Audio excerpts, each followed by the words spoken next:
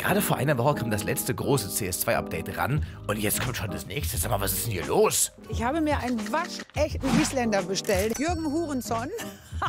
Sorry. In diesem Update sind einige sehr wichtige Dinge geupdatet worden und die schauen wir uns jetzt mal an. Wir fangen ganz oben an und sehen schon, ui, der Workshop ist endlich da. Wir können jetzt also CS2-Maps auf den Workshop hochladen. Wenn ihr also jetzt oben auf Play drückt, dann seht ihr hier rechts schon Workshop-Maps. Hier wären die aufgeführt, wenn ich welche da hätte. Hier unten links ist der Workshop verlinkt, da kann man dann Sachen halt runterladen. Des Weiteren kann man diese Maps nun auch auf den Community-Servern laufen lassen und es wurde noch einiges an den Editoren für Items wie auch an den Workshop-Tools verbessert. Schon kommen wir zum nächsten großen Punkt und zwar dem Gameplay. Hier am Anfang wurde gefixt, dass manche Commands wohl ignoriert wurden, wenn man eine schlechte Internet-Connection hatte. Das ist jetzt nicht mehr so. Der zweite Punkt ist direkt sehr, sehr wichtig.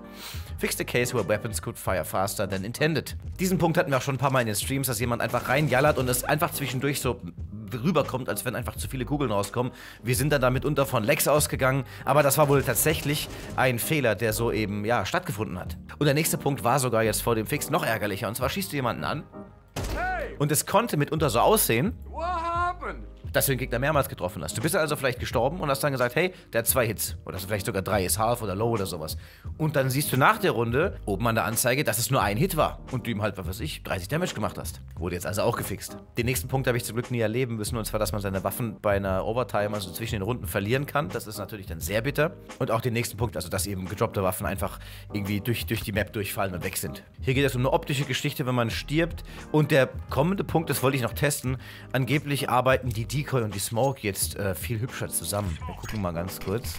Ah ja, der Rauch reagiert auf die Decoy. Das war davor nicht so. Na, das haben sie schön gemacht. Des Weiteren können die Smoke-Granaten nicht mehr sofort aufgehen, wenn sie in irgendeinem Spalt hängen bleiben, was sie ja mitunter mal gemacht haben. Dass wenn sie irgendwo fest gespaltet hat, dann ist es direkt aufgegangen. Jetzt haben sie eine Minimum Fuse Duration. Spieler ignorieren ab jetzt Schaden, der kleiner als ein Damage ist. Ich nehme an, da geht es irgendwie um ganz entfernte Granaten, die dich halt gerade noch so treffen. Du hast jetzt und verlierst aber kein Life, dass das jetzt halt weg ist, dass man das überhaupt nicht mehr mitkriegt, dass da ein Damage stattfand. Und der nächste Punkt hier ist auch sehr, sehr sweet, gerade für unsere lustigen internen Spiele. Wenn man in so einer witzigen Gather-Runde wie bei uns jeden Donnerstag über eSportal einen Feind-Knife will in der Smoke, aber ein Mate kommt mit dazu, dann triffst du priorisiert den Feind, nicht dein Mate, auch wenn dein Mate eigentlich getroffen werden könnte. Du kannst dein Mate also nur noch aus Versehen ankneifen, wenn kein Gegner in der Nähe ist, also in derselben Hit-Range. Auch die nächsten zwei Punkte handeln von den Knife Attacks.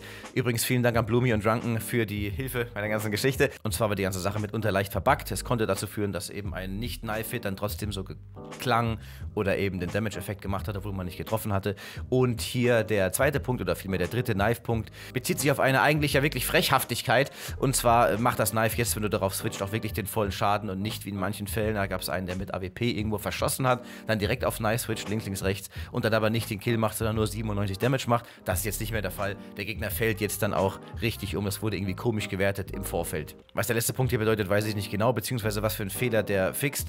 Wenn du jetzt ankommst als Spieler, ist deine Augenhöhe gefixt auf äh, der Map. Ich weiß nicht, ob es da um diesen Fehler ging, bei dem man dann ab und an einfach zu hoch oder zu niedrig war, also geflogen ist, oder wie wir es vorhin hatten, kurz nach einem Bombenplant, äh, dass dann jemand einfach kurz sehr klein war, also aus seiner Sicht heraus. I don't know. Auf Inferno wurde wieder einiges gefixt. Das ist eigentlich alles eher unwichtig, finde ich. Beziehungsweise der eine Punkt hier, dass äh, die Vögel manchmal als äh, Granaten mistaken wurden. Das ist schön, dass sie das gemacht haben. Das ging mir auch manchmal so, dass ich halt denke, oh, da kommt eine Granate, aber dann ist es nur ein Vogel. Ich nehme an, die Vögel haben sie einfach entfernt. Hier bei Servers geht es unter anderem um die Uptime, um die Stunden der Uptime und auch um einen äh, Self-Shutdown beziehungsweise eben einen Neustart. Und ich denke, der Punkt interessiert auch einige Skin- oder halt Item-Verrückte. Wenn ihr beim Join auf einen Server neue Items bestätigt, dann wird es global in den Chat gepostet, dass halt Spieler X gerade tolle Sachen bekommen hat. Und hier im letzten Punkt geht es um den Ping. Das ist für mich eigentlich auch ganz interessant, denn ich habe ja sowieso Ping-Probleme und jetzt bleibt man nicht auf einem loweren Ping stacken, obwohl dein Ping eigentlich höher ist. Zu guter Letzt wurde das Rendering der Sticker noch verbessert. Im Competitive seht ihr jetzt, wie viele Wins ihr noch braucht, bis ihr dann einen Rank auf der Map habt. Das ist natürlich sehr, sehr nice. Diverse Bugs im HUD wurden verändert.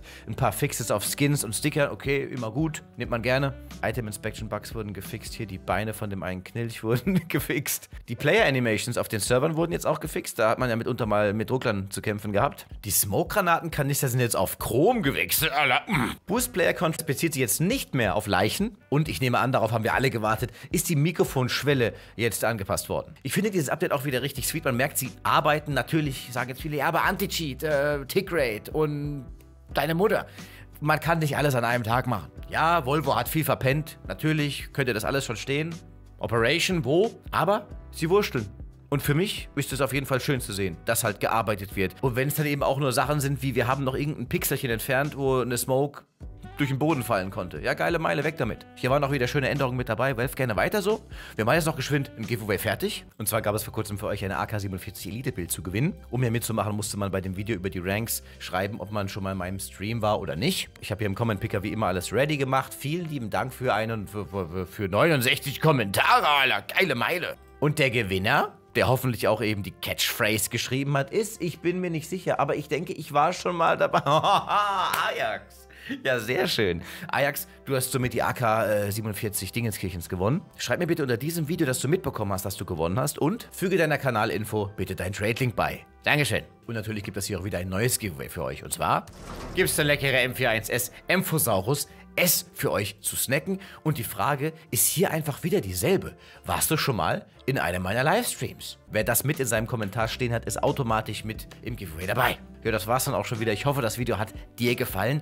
Danke auch für die Kommentare, für die Likes, für die Abos und so weiter aus den letzten Videos und Tagen. Kuss geht raus und wir sehen uns dann im nächsten Video oder im nächsten Livestream. Bye, bye! Instagram kleben die Sachen ziemlich einfach. Von Papa wünsche ich mir 100 Rollen. Dann zur Weihnachtszeit, dass ich mal langsam ein Kartoffelflip esse. Denn dann gib mir deine dicken fette Mutter auf die Instagram-Map.